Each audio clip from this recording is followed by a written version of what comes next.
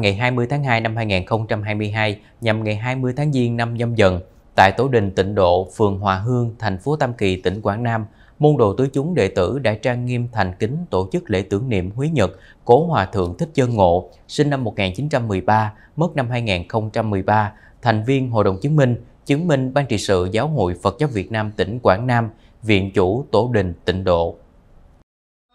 Quan Lâm chứng minh và niêm hương cầu nguyện có Hòa Thượng Thích Thiện Thành, Ủy viên Hội đồng trị sự, trưởng ban trị sự Giáo hội Phật giáo Việt Nam tỉnh Quảng Nam, Hòa Thượng Thích Phước Minh, Ủy viên Hội đồng trị sự, Phó ban trị sự kiêm trưởng ban giáo dục Phật giáo tỉnh, Hòa Thượng Thích Thiện Phương, chứng minh ban trị sự Phật giáo thành phố Tam Kỳ, cùng chư tôn đức Tăng Ni, môn đồ Pháp phái, Phật tử về tham dự đồng cầu nguyện.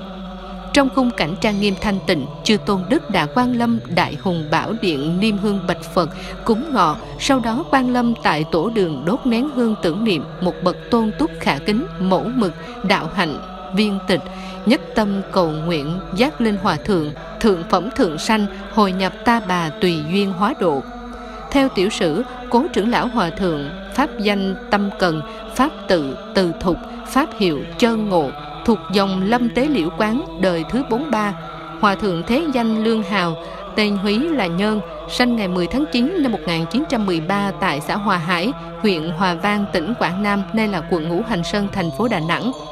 Trong một lần hữu duyên tại chùa Tam Thai, Ngũ Hành Sơn non nước, cố trưởng lão Hòa Thượng được Tổ Phước Trí là trụ trì thương mến thâu nhận cho phép hành điệu để sớm hôn công quả học hành. Năm 1932, Tổ Phước Trí Viên Tịch, Ngài rời Tam Thai về Đà Nẵng, đến chùa Tường Quang thọ giáo với Hòa Thượng hưng An, được Hòa Thượng Thế Phát xuất gia, khuyến tấn với pháp danh tâm cần.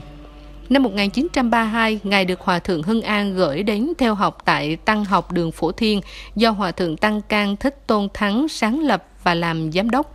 Năm 1935, Ngài được thọ giới sa di và được Hòa Thượng Tăng Cang ban cho Pháp tự từ thục. Năm 1939, Hòa Thượng Hưng An viên tịch, Ngài cầu y chỉ với Hòa Thượng Tăng Cang được Tăng Cang thâu nhận, giao trọng trách làm tri sự tại Tăng học đường Phổ Thiên và được Hòa Thượng Tăng Cang đặc biệt thương mến.